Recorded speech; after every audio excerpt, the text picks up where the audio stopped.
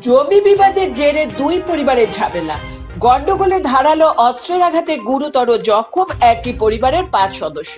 আঠাশে ডিসেম্বর মঙ্গলবার দুপুর নাগাদ ঘটনায় ব্যাপক চাঞ্চল্যের সৃষ্টি হয়েছিল শামসেরগঞ্জ থানার সীতারামপুরে। জখমদের নাম নাজির হোসেন আসাদুজ্জামান, বদরুজ্জামান জাবেরা বিবি ও আলাম তারা জখমদের উদ্ধার করে প্রথমে অনুপনগর হাসপাতালে পাঠানো হয়েছিল। পরিবার সূত্রে জানা গিয়েছে, সীতারামপুর এলাকায় নাজির হোসেন ও আবুল হোসেন দুই ভাই। নাজির হোসেনের পরিবারের অভিযোগ পরিবারের অগচরে আবুল হোসেন জায়গা রেকর্ড করে নিয়েছে।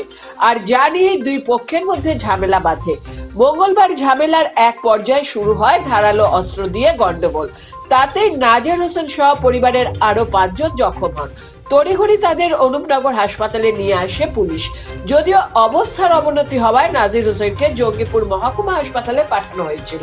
অবস্থা আরও শোচনীয় হওয়ায় তাকে স্থানান্তরিত করা হয়েছিল কলকাতা মেডিকেল কলেজে। আটই জানুয়ারি শনিবার সন্ধ্যে সাতটা নাগাদ মৃত্যু হয় নাজির হোসেনের। নাজির হোসেনের মৃত্যুতে এলাকায় ব্যাপক চাঞ্চল্যের সৃষ্টি হয়েছে। ঘটনায় তদন্তে নেমেছেন শামসেরগঞ্জ থানার police. Bureau report gen TV. থেকে জমিনে বিবাদ ছিল। আমার কাকাটা আমাদের জমিটা নিজের নামে রেকর্ড করে নিয়েছিল। হ্যাঁ এই নিয়ে আমাদের একটা কাকাতো ভাইকে বলতে পাঠাচ্ছিলাম যে এরকমটা করল কেন? তারপরে ও বলল যে "আ, করেছি তো আমার বাড়ি আসতে হবে। এখান থেকে আমরা আর কিছু বলিনি। তো হঠাৎ করে আব্বা নামাজ পড়তে এসেছিল। তখন আব্বাকে সামনে অ্যাটাক করে। তারপরে যখন আমরা বুঝতে পারি তখন আমরা যাই। তারপরে আমরা কেউ এক এক করে মারে। কতদিন আগে হয়েছিল ঘটনাটা? এটা আঠাশ তারিখ হয়েছিল। মারার ঘটনাটা আঠাশ পুলিশকে জানিয়েছিলেন কোনটা? পুলিশকে জানিয়েছিলে সেদিন? জি। হ্যাঁ সেদিন জানিয়েছিলাম। তারপর এখন কি হয়েছে? এখন মারা গেছে? এখন বাবা মারা গেছে। কোথায় মারা গেছে? কলকাতায়। পোস্টমর্টম হয়েছে? না এখন পর্যন্ত হয়নি। পুলিশকে জানিয়েছেন মারা গেছে তো? হ্যাঁ পুলিশ জানে পুলিশ কি প্রতিক্রিয়া দিয়েছে? পুলিশ কী বলছে সেটা তো আমি এখন পর্যন্ত বলতে পারছি না। কারণ বাবা সবাই ওখানে আছে কলকাতাতে। ওখানে বড় ভাই আছে ওখানে ওই বলতে পারবে কি নাম আপনার? মোহাম্মদ বদরুজ্জামান। আপনিও সেদিন আক্রান্ত হয়েছিলেন? হ্যাঁ। যিনি মারা গেছে তিনার নাম? মোহাম্মদ নাজির হোসেন। বয়স কত তার? পঁয়ষট্টি। কি গ্রাম এটা? সীতারামপুর। জমি ওর স্ত্রী নামে দিয়ে দিয়েছে রেকর্ড করেছে রেজিস্ট্রি করেছে। যে আব্বা তো কিছু বলেনি। আমার কাক কাকে কাকে তো ভাইয়ের কাছে গেছে বলেছে গ্রামের লোককে যে এরকম এরকম ব্যাপার আমার সম্পত্তিটা ওরা এরকম করে নিয়েছে। তো আমার কাক- কাকার পতিনের বিয়ে ছিল তো বলে বিয়েটা হয়ে যাক বিয়ের পর ফাইসলা হবে। তো আবার কিছু বলেনি বিয়েটা হয়ে যাক। বিয়ে হয়ে যাওয়ার পর এরকম কথা বলা ছিল না আব্বা নমাজ পড়তে যাচ্ছিল। নমাজ পড়তে যাওয়ার পরে আব্বা কাকরম করে। সে দায়ে বা একটা সব বলে আব্বাকে মারা গেছে।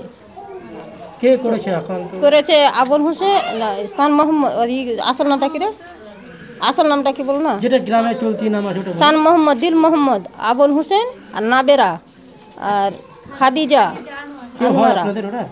কাকা কাকা তো বোন কাকি। মূলত কি নিয়ে বিবাদটা? জমি নিয়ে জমি নেই। জি। কতদিন আগে হয়েছিল ওটা? জমি এটাই বেশি দিন নয় আগে। পনেরো দিন আগে মানে এখন বাইশ দিন এক মাস মতন হয়ে গেল। বাইশ দিন মা- মাঝখানে হয়ে যাচ্ছে। জমি কবে মেরেছিল? কত কত তারিখ মেরেছিল? আঠাশ তারিখ। দিয়ে তারপর হাসপাতালে ভর্তি ছিল? জি ভর্তি আছে। কবে মারা গেছে? মারা গেছে সন্ধ্যা সাতটায়। পুলিশকে জানিয়েছেন জি জানিয়েছে। কি বলেছেন? প্রতিক্রিয়া কি দিয়েছেন? যে ওখানে পোস্ট পোস্টমার্টার হবে ওখান থেকে সব কিছু হয়ে যাবে দেখে আসবে। কি চাইছেন আপনারা এখন? আমরা শুনি ফাঁসি চাই। ফাঁসি চাই। আমরা। আমার আমার আপনি এবার? আমি আবার মেয়ে আমি।